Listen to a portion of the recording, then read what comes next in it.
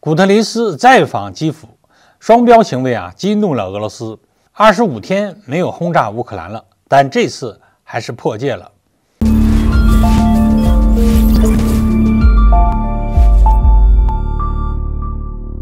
各位网友，大家好，欢迎收看本期中程 Talk。乌克兰在巴赫穆特的形势啊本就不利。联合国秘书长古特雷斯去了一趟基辅之后，可以说是又让乌克兰雪上加霜了。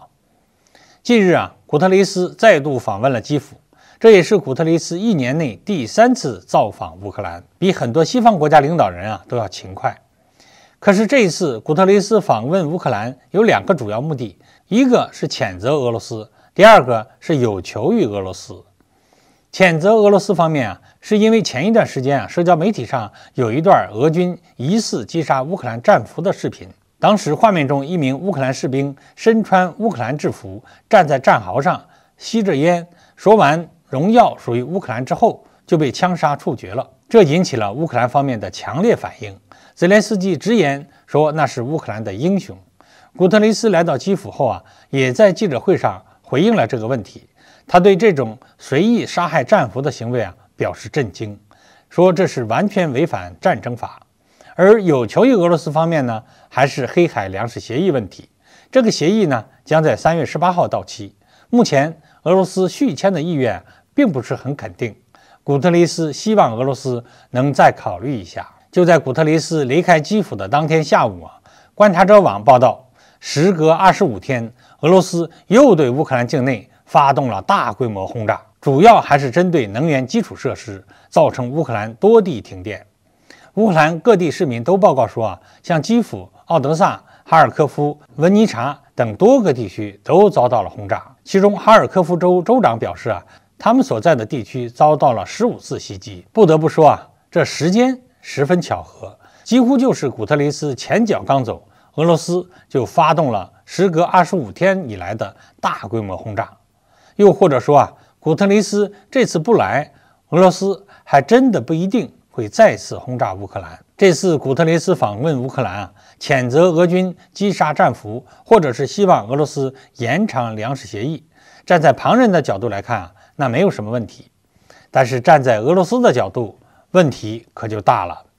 当初乌克兰亚速营分子虐待俄军战俘、侮辱俄军士兵尸体的视频啊，早就在网上满天飞了，而古特雷斯。居然直接当没有看到，现在却看到了所谓俄罗斯枪杀乌克兰战俘，不得不说啊，这还真是个令人十分震惊的事。其次呢，黑海粮食协议是去年七月份签署的，四个月续签一次，在去年十一月份的时候啊，已经续签了一次。当时签署协议的时候啊，俄乌双方的代表加上土耳其总统埃尔多安和古特雷斯四方面都说得好好的，俄罗斯。开放乌克兰港口，让乌克兰出口粮食，而西方则要解除对俄罗斯粮食和化肥出口的制裁。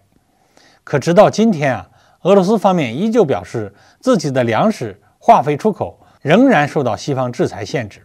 这说明联合国根本就没管俄罗斯这边的事儿，古特雷斯只在乎乌克兰的粮食有没有出去。